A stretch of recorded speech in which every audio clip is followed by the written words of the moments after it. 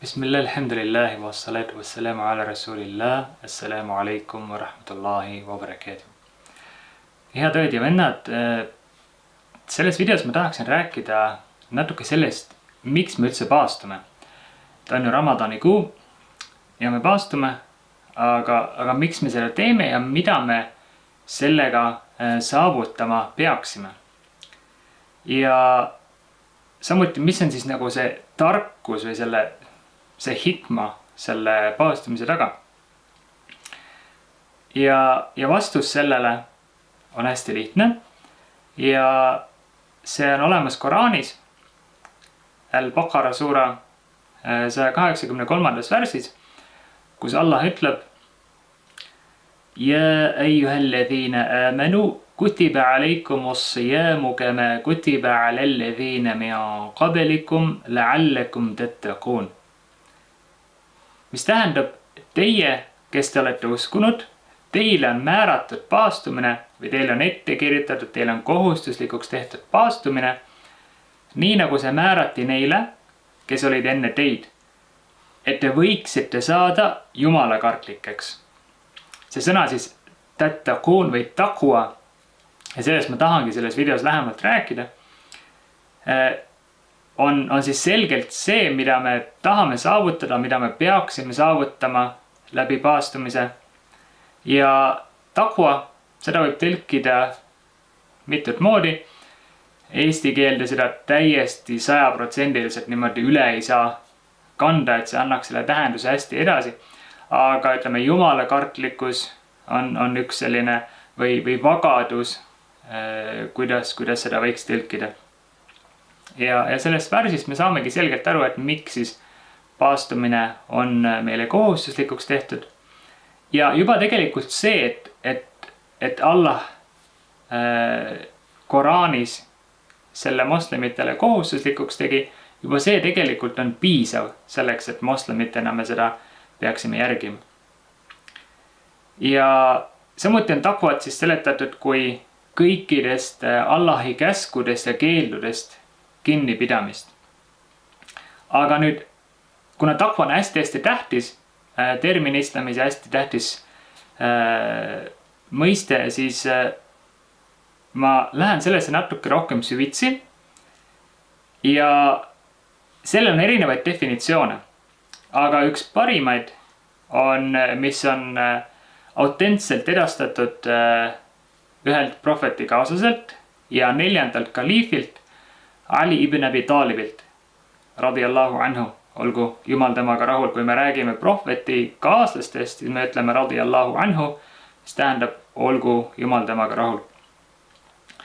ja takwa tähendab siis, ta ütles, et takwa hiel hauf minel jalil. takwa on kõige suurema kartmine ehk siis Allahi kartmine.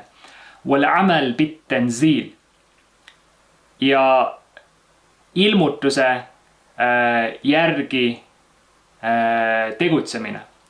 mõeldud on siis, mõeldud on siin siis Koraani ja Sunna. Wal qana'atu bil qalil, rahulolu vähesega. Wal isti'dad li yawmi rahil ja valmistumine või valmisolek lahkumise päevaks. ehk siis selleks päevaks, mil me siit elust lahkume ja äh, ma ütlen, et äh, koosneb siis nii-öelda neljast osast enam-vähem see tema ütlus.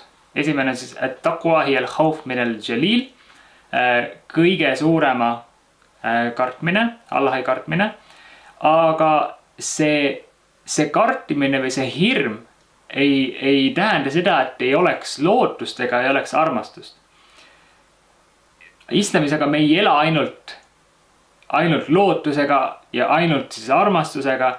mitte nii nagu tänapäeva kristlased paraku, et Jeesus armastab sind, et ükskõik mida sa teed, tapad või vägistad ja varastad, et, et Jeesus armastab sind ja tema suri sinu, sinu eest, sinu pattude lunastuseks ja, ja põhiline on ainult armastada Jeesust ja, ja siis sa, siis sa saadki paradiisi, ükskõik mis, mis sa teed. aga ei, meie, meie usus asi niimoodi ei ole meil on vaja ka äh, seda hirmu, seda kartust, jumala kartust. kuna islamis on asjad tasakaalus äh,. asi ei ole, islamis ei ole niimoodi ühele või teisele poole kuidagi ekstreemselt kalduse. sest nii hirm kui ka lootus, mõlemad on vajalikud.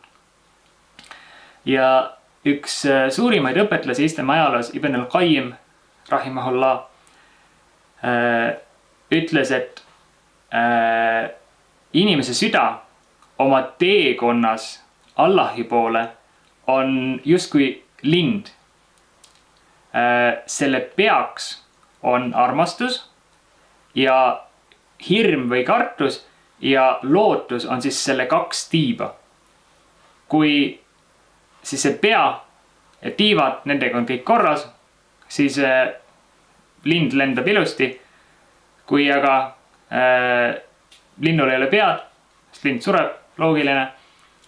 ja kui lind kaotab ühe oma tiibadest, siis see saab äh, siis sihtmärgiks äh, igasugustele äh, kiskjatele.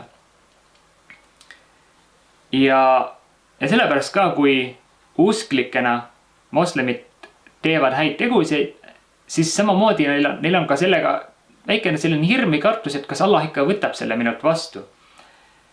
et, et me ei saa alati nagu sada protsenti kindlad olla, et okei okay,, et nüüd me tegime midagi, et nüüd on see sada protsenti vastu võetud, sest võib-olla me tegime selles mingi vea, võib-olla me ei olnud täiesti siirad.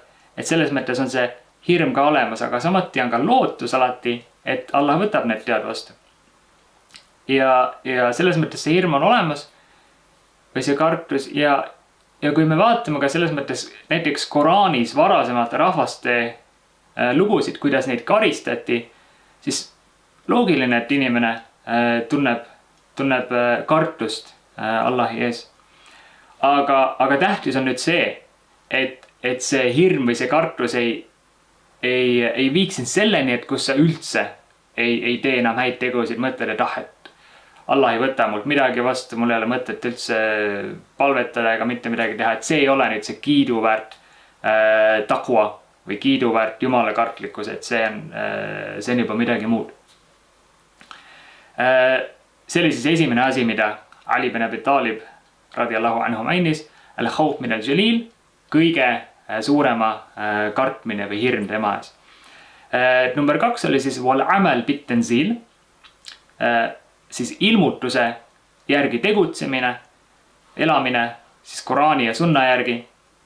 ja see tähendab, et sa võtadki selle oma elu äh, aluseks, selleks äh, juhiks või, või selliseks nii-öelda kaardiks, et mille järgi sa elad, et, et see on nagu sinu äh, otsuste tegemise aluseks, et sa, sa kogu oma elu ehitad Koraani ja sunna ümber. et äh, mida, mida ütles Allah mida ütles tema äh, prohvet Muhammad äh, sallallahu alaihi wasallam. ja, ja, ja mitte see, et, et mida ütles äh, keegi sinu sõber, sinu töökaaslane äh,, keegi hoopis äh, kolmas. et kui see kõik läheb vastuollu Koraani ja sunnaga, siis äh, selge on see, et me ikkagi järgime Koraani ja sunnat. number kolm, rahulolu vähesega ja, ja see tähendabki rahulolu sellega, mis Allah on sulle andnud, isegi kui seda on midagi vähest. et, et kui sul ei ole suuri rikkusi selles elus, sa elad hästi lihtsalt, et tähtis on sellega rahul olla. ja, ja tegelikult, kui sa oled rahul sellega, mis Allah on sulle andnud, olgu seda vähe või palju, siis ükskõik, mis sul on, sa oled ikkagi sellega üks rikkamaid inimesi. ja, ja rahulolu, see on üks selline omadus, mida, mida paraku on hästi raske äh, tänapäeval leida. aga, aga need, kellel on takwa äh,, need ka leiavad selle. Need, kellel on see jumala kartlikkus. ja viimane punkt, mida Ali mainis, äh, valmisolek äh, lahkumispäevaks. ehk siis päevaks, mil sa sellest maailmast lahkud. ja, ja sa lähed oma oma tõelisesse koju, oma igavesse koju. Äh, koju, mida sa oled siis kas äh, selle elu jooksul, selle maise elu jooksul siis nii-öelda ehitanud oma tegudega. sa oled sellesse investeerinud öö, äh, oma elu hästi ja, ja Koraani ja sunna järgi elades. või siis teine variant on see, et, et sa ei ole sellesse investeerinud, sa oled selle hooletusse jätnud oma, oma tulevase elu ehk igavese kodu. ja seega see on siis meie kõigi valik, see on sinu valik, et, et mida sa teed, et kas sa, kas sa investeerid sellesse tulevasse elusse, oma tulevasse koju äh,, kodusse või sa ei tee seda. ja, ja sellepärast ka osad äh, moslemid varasematest generatsioonidest on öelnud umbes nii, et, et, et osad inimesed ei taha sellepärast äh, sellest maisest elust lahkuda. Kuna nad äh,, nad on selle, sellesse hästi palju investeerinud, nad on hästi palju raha, hästi palju vaeva sellesse pannud, noh, mõtleme, kuidas meiegi tänapäeval ju noh, tihtipeale äh, elame, töötame või inimesed töötavad, paraku võtavad osad ka laenu lihtsalt selleks, et, et, et maksta siis, et töötadagi elada selle nimel, et, et endale elamis, elamispind äh, siis soetada. et tihti on see paratamatus äh,. muidugi ma ei räägi siin intressipõhisest laenust, seda ei tohiks kindlasti teha aga, aga tihtipeale me töötame, näeme hästi palju vaeva selle nimel, et meil oleks nagu sellised põhilised asjad olemas, elamispind, auto ja nii edasi, mida meil vaja läheb. aga, aga kui need inimesed siis või kui meie ei äh,, ei näe vaeva selle nimel, et ehitada endale siis äh, midagi ka tulevase elu jaoks, siis, siis ongi loomulik see, et, et, et me ei taha sellest, äh, sellest maisest elust lahkuda aga, aga vastupidi, et kui sa, kui sa investeerid oma tulevasse ellu, kui sa ehitad äh, oma tulevase elu jaoks ja sa, ja sa töötad selle nimel, näed vaeva, mis siis see tulemus on? tulemus on see, et sa tahad sinna ka minna. et sa ei, sa ei ole klammerdunud selle äh, maise elu külge ja, ja sa ei, sa ei, sa ei karda ka nii väga sellest ilmast lahkuda. aga vastupidi, sa just tahad Allahiga kohtuda. ja prohvet äh, Muhamed sallallahu alaihi wasallam ka ütles, et man ahabba liqa Allah, ahabba Allahu liqa'ahu. Wa man kariha liqa Allah, kariha Allahu liqa'ahu. mis tähendab, et kes iganes armastab või tahab Allahiga kohtuda sellega tahab kohtuda ka Allah. ja kes eh, ei taha või vihkab Allahiga kohtumist, sellega kohtumist vihkab ka Allah. ja nii et mõtle selle peale, et, et millal sa tahad, millal sa tahad Allahiga kohtuda, sa tahad temaga kohtuda siis, kui, kui midagi head ootab sind selle eest tulevases elus. mitte siis, kui sa oled äh, ainult keskendunud maisele elule ja sa oled täiesti hüljanud äh, tulevase elu, aga kui sa oled töötanud kõvasti oma tulevase elu nimel, sa oled vaeva näinud, sa oled sellesse investeerinud, siis loomulikult sa tahad äh,, tahad näha seda, mis sind seal ootab. aga, aga vastupidi, kui see, see päev siis ei ole üldse sul meele peal sa ei, sa ei mõtle selle peale üldse, sa oled täiesti unustanud selle. see on, see on su viimane mure, et kõik muu raha, töö, sõbrad, pere, äh, kool, kõik muu on sulle palju-palju tähtsam. siis tulemus ongi see, et sa ei tööta selle nimel. sa töötad ainult selle maise elu nimel. ja, ja Allah ütleb ka osade inimeste kohta viimsel kohtupäeval. وقيل اليوم ننساكم كما نسيتم لقاء يومكم هذا ومأواكم النار وما لكم من ناصرين mis tähendab, et täna unustame teid, Allah siis ütleb, et täna unustame teid, nagu te unustasite selle oma päeva kohtumise ja teie varjupaigaks on tuli ja teie jaoks pole abistajaid. ehk siis need inimesed, kes unustavad täiesti selles maises elus Allahi ja unustavad äh, viimse, viimse päeva ja teispoolsuse, siis need inimesed siis äh, jätab hooletusse ka Allah viimsel äh, kohtupäeval ja, ja, ja nendel ei ole abistajaid. nii et äh, mõelgem selle peale, kuidas me saame siis äh, suurendada seda jumalakartlikkust ühelt poolt ja kuidas me saame investeerida siis äh, oma tulevasse ellu. ja, ja eriti nüüd, praegusel ajal, Ramadani kuul, pühal, pühal kuul äh,. püüdkem siis leida viisi, kuidas me saame inshallah rohkem äh, jumalakartlikkust enda ellu, kuidas me saame paremateks moslemiteks, paremateks inimesteks äh, Ramadani ajal ja nii, et me ka pärast Ramadani kuud äh, oleksime siis paremad. palun Allahit, et ta õnnistaks teid kõiki ja et ta aitaks meil kõigil sellest pühast Ramadani kuust võimalikult palju kasu saada.